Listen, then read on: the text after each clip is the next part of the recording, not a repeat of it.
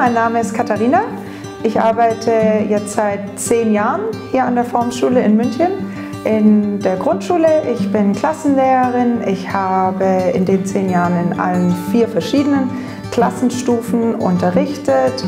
Ich bin damals direkt nach meinem Referendariat an die Formschule gekommen, habe von meinen Kolleginnen von der Schulleitung sehr viel Unterstützung bekommen, gerade auch in den ersten Jahren. Das ist was, was mir bei Forms sehr, sehr gut gefällt, dass wir uns gegenseitig unterstützen. Es gibt einen großen Zusammenhalt im Kollegium.